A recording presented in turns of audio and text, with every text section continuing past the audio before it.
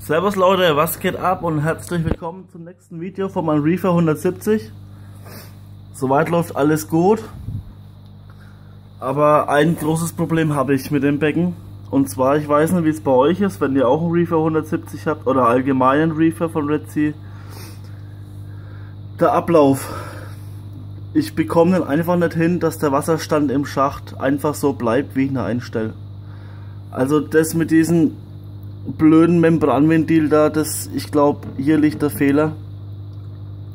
Dass der sich zu schnell zusetzt und dann verändert sich der Wasserstand so dermaßen, dass es dann über Nacht mal den halben, den halben Osmose-Tank ähm, ins Becken jagt.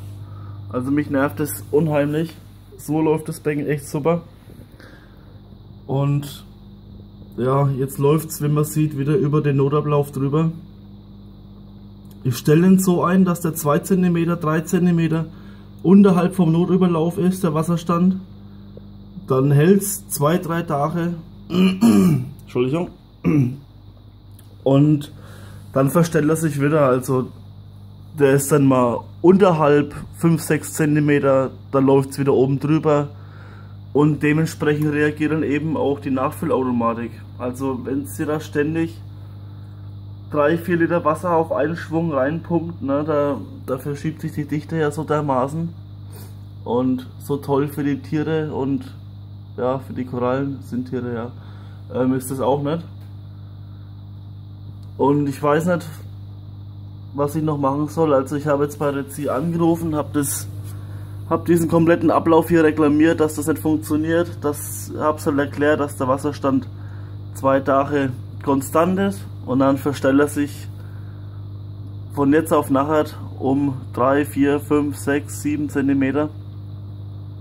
Ja, und es ist einfach tierisch, tierisch nervig. Wenn der neue Ablauf kommt, baue ich eine rein. Dann mache ich nochmal ein kurzes Video, ob es funktioniert.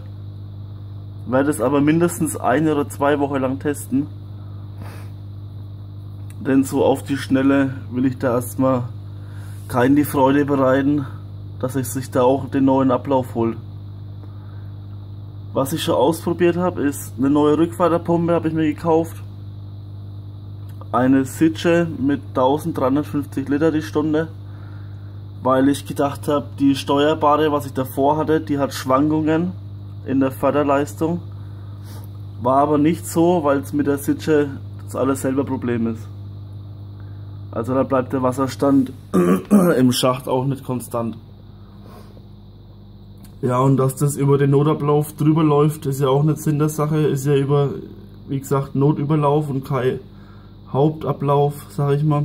Wenn der sich jetzt irgendwie vollsetzt mit Schmotter oder Dreck oder keine Ahnung oder geht eine Schnecke rein, dann ja, schaut schlecht aus, würde ich mal sagen. Also eigentlich sollte der Notüberlauf immer frei sein, sodass, ähm, ja, falls was passiert, dass der eben das Wasser dann schluckt.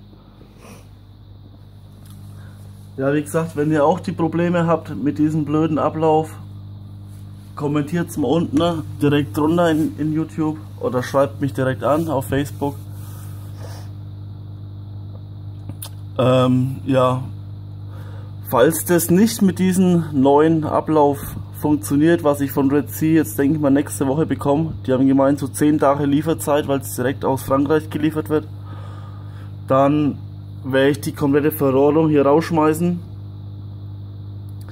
Und wenn wir PVC online bestellen und wenn wir das selber reinbauen mit einem stinknormalen Kugelhahn, so wie ich es eh und je gehabt habe, da hat es auch gepasst. Das war ein bisschen blöd zum Einstellen, aber wenn es mal gestimmt hat mit dem Wasserstand im Schacht, dann ist er auch so geblieben, wie das soll.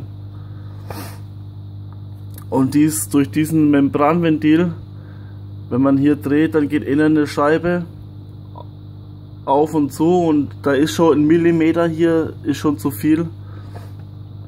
Dann verstellt sich wieder alles und das setzt sich so dermaßen schnell mit Dreck zu. Also ich habe da mal Fotos gesehen, wo es einer hier auseinandergebaut hat zum, zum Reinigen. Also das komplette Teil innen war voller Schmotter und, und, und Dreck und ja, Kot von den Fischen und so weiter. Und das hat man beim Kugelhahn eben nicht. Beim Kugelhahn setzt sich da nichts an, sag ich mal, oder ganz wenig. Notfalls reißt man den einmal auf, macht ihn wieder zu, dann ist der durchgespült und ist sauber.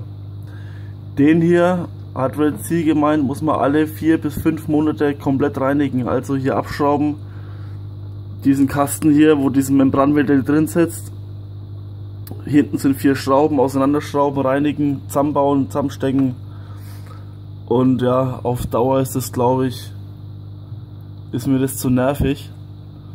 Deswegen werde ich jetzt mal warten, bis der neue Ablauf kommt. Vielleicht wird es besser, vielleicht, vielleicht passt auch mit denen irgendwas nicht, dass da irgendwas kaputt ist oder ich habe keine Ahnung. So viel schon probiert, aber irgendwie funktioniert es nicht. Ja, und wie gesagt, notfalls bestelle ich mir PVC mit einem ganz normalen Kugelhahn, die mit den roten Griffen. Baue da unten eine Tankverschraubung rein. Und dann sollte das funktionieren. Wenn das denn geht, weil ich sehe gerade, hier sind so. Ja, da muss ich mal schauen, ob das funktioniert. Notfalls schneide ich es hier durch und setze es neu an mit einer Muffe und mache dann da einen Kugelhahn rein. Also da werde ich mal sehen, auf jeden Fall auf Dauer bleibt das nicht so. Ja, das wollte ich euch noch mal kurz mitteilen. Vielleicht ist es bei euch auch so, habt ihr auch die Probleme? Wie habt ihr geregelt? Habt ihr mit Red Sea Kontakt gehabt? Könnt ihr was schreiben? Und ja, mal gucken, ob ich da eine Lösung finde. Ich bin gespannt auf eure Antworten. Und ja, ansonsten bin ich zufrieden mit dem Becken, einwandfrei. Aber wie gesagt, ja, der Ablauf. Okay, dann freue ich mich auf die Kommentare und dann sehen wir uns im nächsten Video.